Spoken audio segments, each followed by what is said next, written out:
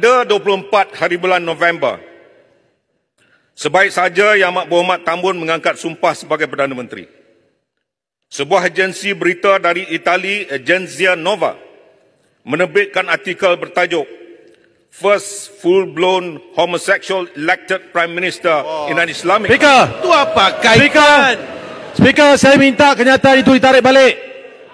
Kurang Laporan, sopan dan kurang ajar. Laporan ini menghina Yang Fakta, Amat fakta, Tambun. fakta.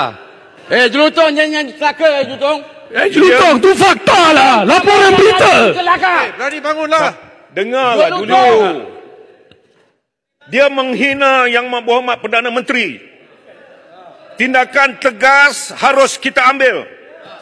Kerajaan bertanggungjawab untuk memaklumkan kepada seluruh dunia bahawa Yang Amat Berhormat Tambun sudah pun diberi pengampunan oleh Yang di-Pertuan Agong.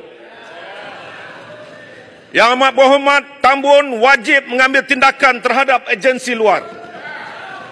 Jangan hanya mengambil tindakan terhadap mereka dalam negara saja. Kita tidak mahu dilihat sebagai jaguh kampung semata-mata. Betul, betul. Dahulu Yang Amat Berhormat Tambun telah pun dihukum oleh mahkamah kerana kesalahan tersebut. Tetapi sekarang sudah bebas kerana telah diberikan pengampunan. Jangan dibiarkan sehingga dunia percaya seolah-olah Perdana Menteri Malaysia pengamal homoseksual tegar. Ini cerita lama. Kita harus bangkang. Saya minta Yang Amat Berhormat saman Agensia Nova Speaker, masa dah Itali habis, itu. masa dah habis. Memang benar. Memang benar. AMNO memecat timbalan Presiden AMNO pada tahun 1998 kerana isu itu. Tetapi sekarang apabila sudah pun diberikan pengampunan, AMNO sudah boleh menerima Yang Amat Berhormat Tambun sebagai Perdana Menteri.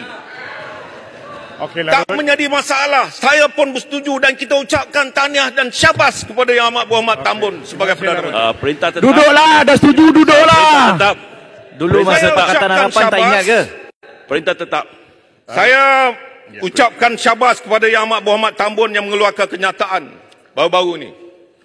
Untuk memecat Uh, perintah- mana-mana perintah anggota tetap. kabinet yang menyalahgunakan kuasa atau yang disabitkan dengan, dengan kesalahan rasuah. Okey. Tetapi kenyataan ini juga mengelirukan rakyat serta dunia apabila terdapat media antarabangsa seperti Bloomberg yang perin- menyiarkan laporan bertajuk tetap. Malaysia PM picks Graf tainted leader as one of his deputies. Perintah tetap. Okey, larut.